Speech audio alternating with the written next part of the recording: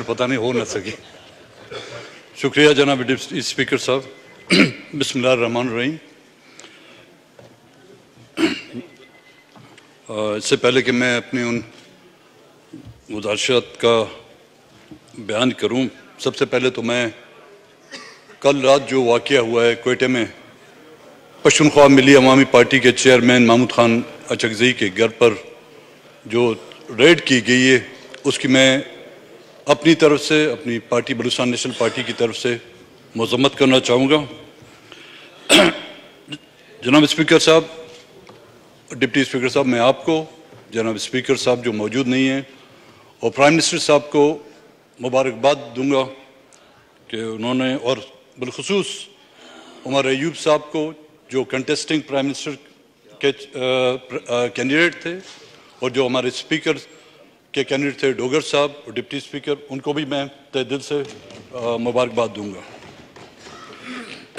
जनाब स्पीकर साहब, जब हम जमहूरियत की बात करते हैं और आइन की बालादस्ती चाहते हैं तो मुझे ये उम्मीद थी और ये तो थी कि प्राइम मिनिस्टर साहब उस जमहूरियत की अपनी स्पीच के दौरान उन साफ़ी हजरात जो पाबंद सलासल हैं, असद अली तूर, इमरान रियाज, उनकी रियाजी का ऐलान करते हैं। साफत इस मुल्क के सियासत सियासत अब हमारे पास रही नहीं है थोड़ी बहुत एक सहाफत रह चुकी है। वो उसका एक बुनियादी उसका किरदार होता है सहाफत का। जिस तरह के इस मुल्क की मुसल्ह अफवाज सरहदों पर बंदूक हाथ में लिए, इस मुल्क की सरहदों की हिफाजत करती है। इसी तरह यहाँ के साफ़ी हजरात, उनके हाथ में बंदूक नहीं है कलम है। उस कलम के ज़रिए से वो हमारी पहचान, हमें राय रास्त अगर हम गुमराह हो जाएँ, वो हमें दिखाने की कोशिश करते हैं। और उसके साथ साथ मैं प्राइम मिनिस्टर साहब से यह भी गुजारिश करूँगा कि तमाम वो सियासी कैदी, चाहे उनको किसी भी केसेस में मुलवस करके पाबंद सलासल किया जाए, ये मैं बलुस्तान की बात नहीं कर रहा हूँ जी, क्योंकि बलुस्तान में हम सियासी कैदी नहीं हैं, हम जंगी कैदी हैं। मैं जंगी कैदियों की बात नहीं करता, मैं सियासी कैदियों की बात कर रहा हूँ। उनकी जो है रिहाई फौरी अमल में लाई जाए।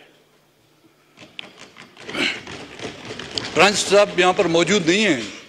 कल मैं गौर से उनकी तकरीर सुन रहा था। वो ग्वादर जिसके नाम पर सीपैक बनाया गया है, जिसको कहते हैं कि जी ग्वादर इस मुल्क की तरक्की और सीपैक का जूमर है। प्राइम मिनिस्टर साहब, वो जूमर डूब गया है। अगर फुर्सत हो उनको बलुस्तान में मिलिट्री ऑपरेशन में जो हेलीकॉप्टर यूज़ हो रहे हैं उनमें से चंद एक हेलीकॉप्टर उस ग्वादर में लोगों के रेस्क्यू के लिए भेज दिए जाते तो हम भी उनकी तारीफ़ करते।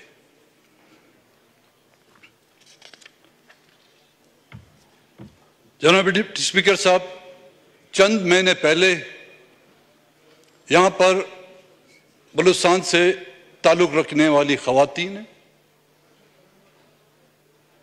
बच्चे, बुज़ुर्ग, कुछ ढूँढने के लिए बलुस्तान छोड़कर इस्लामाबाद पाकिस्तान के कैपिटल में आए थे। एक उम्मीद और एक तो के साथ।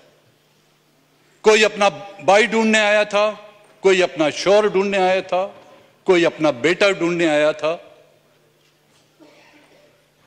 उस जिसको आप यहाँ पर निगरान हुकूमत कहा जाता है केयर टेकर मैंने उस वक्त भी उसका अंडरटेकर नाम रखा था।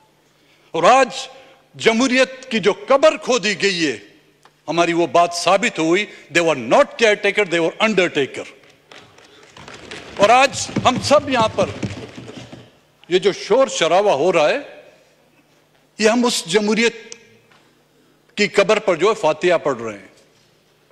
हम उस जमहूरियत के लिए सोग मना रहे हैं। उन बच्चियों के साथ जो सलूक किया गया, इस्लामाबाद की उस सर्द रातों में उनका जो इस्तकबाल किया गया, ठंडे पानी से, उनको जो इज़्ज़त दी गई, और उसका रद्दमल आपने देखा जी। उनके जाते ही, बलूचिस्तान में जो हज़ारों लोगों ने उनका इस्तकबाल किया, और ये जो इलेक्शन के नतज निकले हैं, केपी से या दूसरों इलाकों से, ये मैं नहीं समझता किसी पॉलिटिकल पार्टी की अपनी कारकर्दगी है। ये वो नफरत है जो रियासती इदारों के खिलाफ लोगों ने मोहरे लगा लगा के अपने नफरत का इजहार किया है। ये हमें लोगों ने वोट नहीं दिए। ये उन खुफिया इदारों जिनका काम दुश्मन ममालिक के खिलाफ जो है साजिशें करना ज़रूरी था। लेकिन बदकिस्मती ये कि हमारे अपने रियासती खुफिया इदारे स्टैब्लिशमेंट जिसको कहते हैं ਉਹ ਤਾਂ ਫਰਕ ਆਣਾ ਕੈਲਰੀਜ਼ ਦਾ ਬਹੁਤ ਜ਼ਿਆਦਾ ਫਰਕ ਨਹੀਂ ਹੈਗਾ ਲੇਕਿਨ ਹਾਂ ਇਹਦਾ ਅਲਟਰਨੇਟਿਵ ਹੁੰਦੇ ਆ ਜਿਹੜਾ